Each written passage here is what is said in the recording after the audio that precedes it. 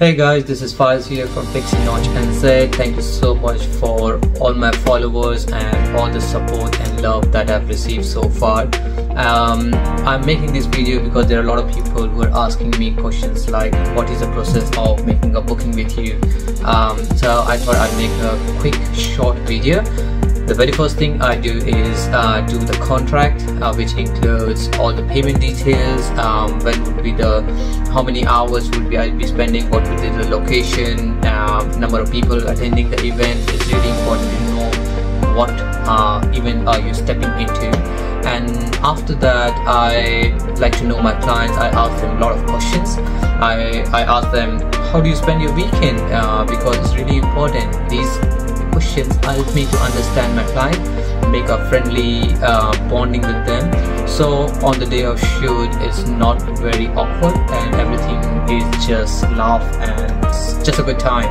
Um, the other thing that I do is I send them all the links for example my instagram links so that they can go on my instagram and have a look um, what are the poses um, depending upon if it's a wedding shoot or it's a maternity shoot I have my Pinterest where I have saved different poses for different kind of uh, events.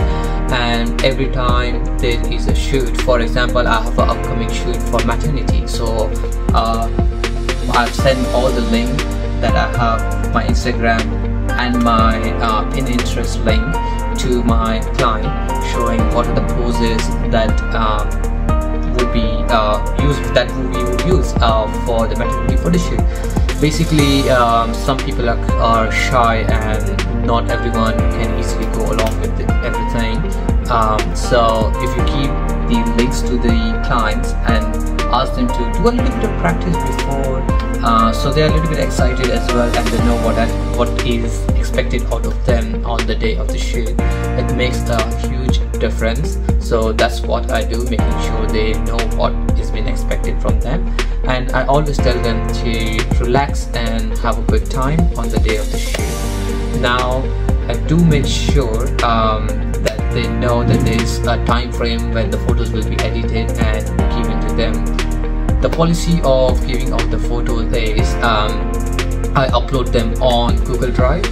Now um, it gets uploaded in batches. So when the first batch is uploaded the client gets notified they download the batch. Uh, if, I, if, I, have enough space I upload the second batch as well. Otherwise I take down the first batch and then upload the second batch and the process follows. Now this is the entire process. Very simple very transparent and easy to follow. So if you have any other questions regarding my work or how I um, do my photography please um, shoot me some questions and I'll make another video. Thank you so much for your time for uh, watching my video and supporting me. Uh, please follow me and like my videos. I'll be making more videos. Have a nice time. See you next time